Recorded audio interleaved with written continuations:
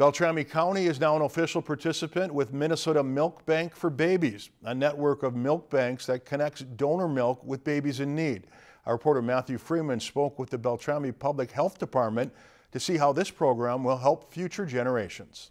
A new partnership that's formed between Beltrami County and the Minnesota Milk Bank for Babies, whose mission is to improve infant health outcomes by ensuring that medically vulnerable babies in northwest Minnesota have access to safely pasteurized human donor milk when mother's milk is unavailable or in short supply. They help facilitate getting milk donations to hospitals and healthcare centers across the Midwest. They get it, they pasteurize it, and then they get it out to those hospitals with the premature babies and ones in the NICU that need that extra support.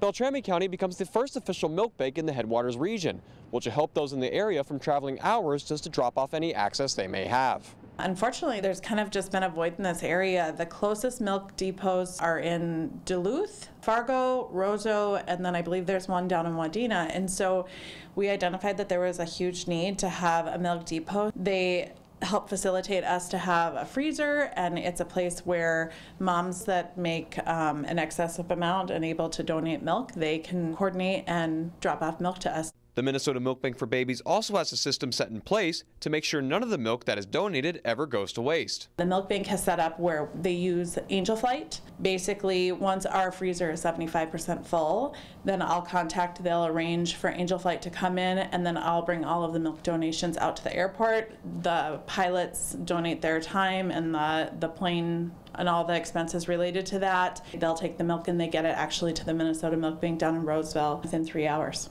The Minnesota Milk Bank for Babies currently has over 1,300 donors across 31 depots, dispensing close to 900,000 ounces of milk to those in need. But more donations are always needed. Those babies that are in the hospitals and they're premature and they're in the NICUs and they're needing a higher level of calorie content, sometimes there's moms that aren't able to produce, and so this really provides that support to those babies that are that are in need.